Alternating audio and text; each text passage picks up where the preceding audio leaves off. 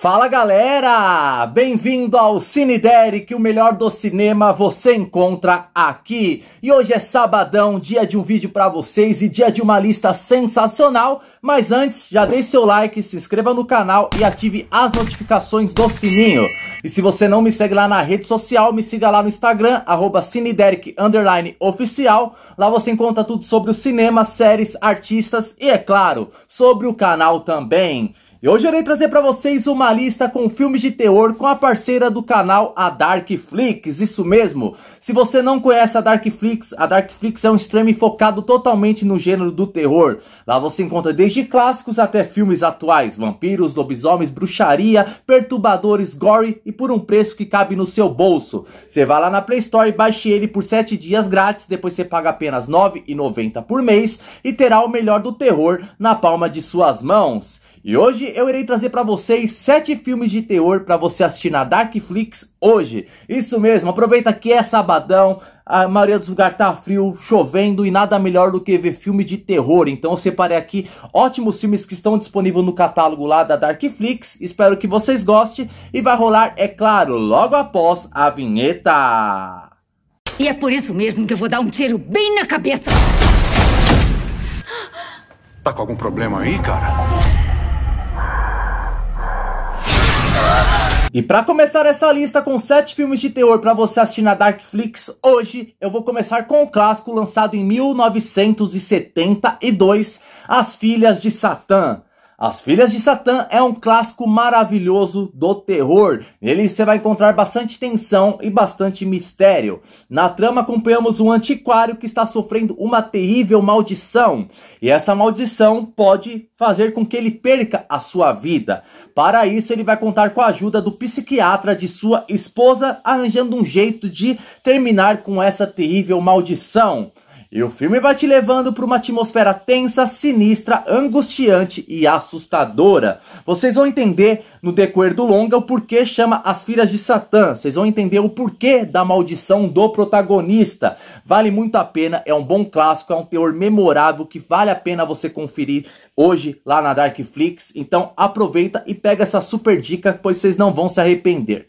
Bom, o segundo que eu irei trazer para vocês assistir é ele lançado lá em 2016, chamado O Acampamento.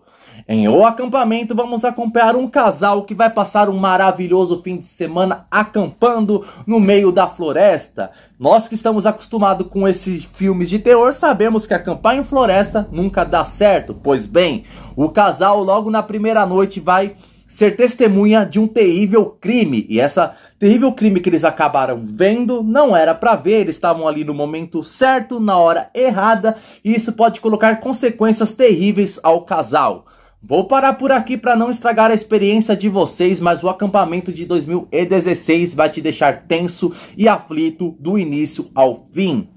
Ele tem uma atmosfera perturbadora, ele tem momentos de violência extrema que envolve até um bebê. É, galera, já só de vocês já imagina um bebê numa cena pra lá de bizarra. Não chega a ser uma assim, tipo um abuso de um bebê, não, mas o que envolve ali uma cena que envolve uma criança vai te deixar com aquela sensação de que porra é essa que eu estou assistindo.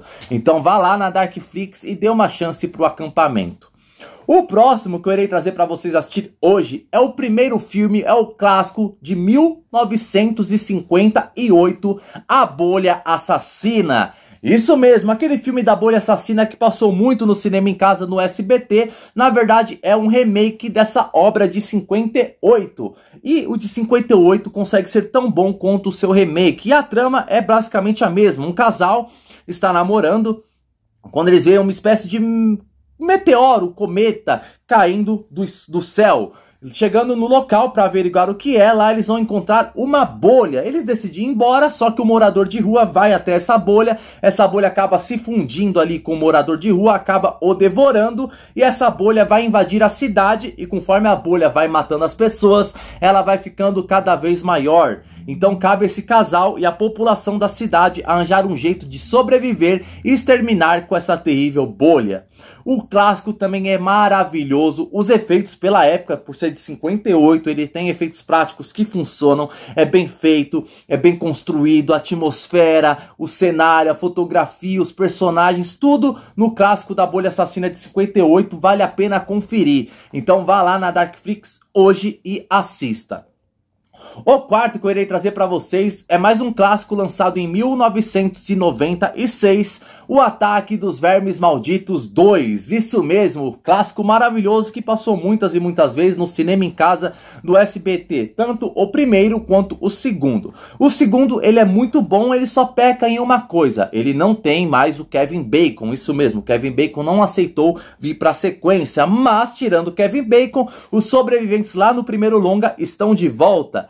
E dessa vez eles vão enfrentar novamente esses vermes malditos que dessa vez estão mais inteligentes. Então os nossos protagonistas lá do primeiro filme vão tentar armar um plano para exterminar com esses vermes, só que os vermes também têm um plano, porque agora os vermes pensam. Então pode dificultar mais e mais a caçada ali dos personagens. E o filme mantém a mesma pegada, mortes, qualquer ruído em cima da terra faz com que os vermes venham atrás da pessoa e as mata, e o filme também consegue trazer aquela diversão que o primeiro longa nos trazia. Se você quer matar a saudade, se você gosta desse clássico maravilhoso, vá lá na Darkflix e assista ele ainda hoje.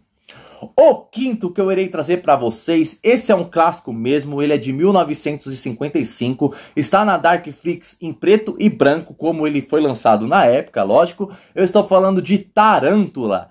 Em Tarântula, vamos acompanhar um laboratório que está fazendo experiência com aranhas, com uma tarântula. Só que essa tarântula acaba fugindo do laboratório, se alimenta de algo ali do lado de fora e acaba crescendo de uma forma para lá de bizarra. Então cabe esse cientista tentar matar essa tarântula gigante enquanto ela vai atacando uma cidadezinha ali, causando o maior terror. E o filme, por ser um clássico de 55 e ser em preto e branco, ele funciona, ele é muito bem feito. A cena da aranha gigante ali consegue te convencer em alguns momentos, além dos protagonistas serem interessantes, a trama ser bem desenvolvida, é, mesmo sendo em preto e branco, você consegue ver a fotografia, o vislumbre da imagem ali, mesmo não tendo cor, consegue fazer com que fosse uma cor bastante viva, o preto e branco forte, que vale a pena assistir, ele é um clássico memorável para quem é, gosta de filmes de terror com animais assassinos, vai gostar muito de Tarântula, então aproveita que tem na Darkflix, vai lá e assista ainda hoje. O penúltimo que eu irei trazer para vocês é o filme lançado lá em 2019 com a Samara Wennigan. Eu estou falando de Casamento Sangrento. Um dos melhores terrir lançado nos últimos tempos, um filme memorável, sangrento, violento, naquela medida certa que nós fãs do terror gostamos. Na trama, acompanhamos Grace, que vai se casar com o marido dos seus sonhos e terá que conhecer a família. E na primeira noite que ela vai conhecer a família do seu futuro marido, ela terá que participar de um jogo, que é tirar uma carta de uma caixinha. O jogo que sair nessa carta, ela tem que fazer para ser aceita a, pela família. Só que ela acaba tirando a cartinha do esconde-esconde. E aí você vai falar, mas peraí, o que, que tem de terror assustador num esconde-esconde? Tem sim, pois a nossa protagonista terá que se esconder da família do seu futuro marido, pois eles têm que matar ela até o amanhecer. Então tudo que parecia ser apenas uma brincadeira de esconde-esconde terá que ser a luta pela sobrevivência de Grace. E tudo isso que nem um bom terrir é violento, sangrento, engraçado em alguns momentos, protagonistas sensacionais, fotografia, trilha, trilha sonora, tudo nesse filme se encaixa perfeitamente. Então aproveita que tem na Darkflix e assista.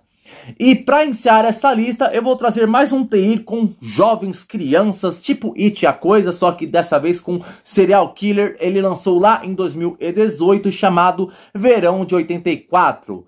Em verão de 84, acompanhamos uns amigos, crianças, que têm uma grande amizade, andam de bicicleta para cima e para baixo, tipo a garotada do It, são legais. Só que eles têm um vizinho. Esse vizinho é um policial, mas aí você fala, se ele é policial, não tem o que temer. Aí que você se engana, pois essas crianças têm certeza que o vizinho policial é na verdade um terrível serial killer e vão passar a investigar isso. Só que conforme essas crianças vão investigando, logo eles vão descobrir que não é apenas uma teoria e que sim, o seu vizinho policial é um psicopata e pode colocar a vida dessas crianças no verdadeiro perigo. Verão de 84, assim como o Casamento Sangrento, tem tudo que um bom terrir tem que ter. Momentos tensos, engraçados, divertidos e violentos. É uma boa pedida para você que gosta desse subgênero. Então aproveita que tem lá na Darkflix e assista ele ainda hoje. Então, galera do Cine Derek, espero que vocês tenham gostado dessa pequena lista. Amanhã, domingão, estou de volta para vocês com mais vídeo para vocês com mais uma lista com filmes lá da Amazon Prime. Então aguarde que amanhã tem vídeo novo aqui no canal Cine Derek. Valeu? Muito obrigado, bom sábado para todos vocês, um forte abraço e tchau!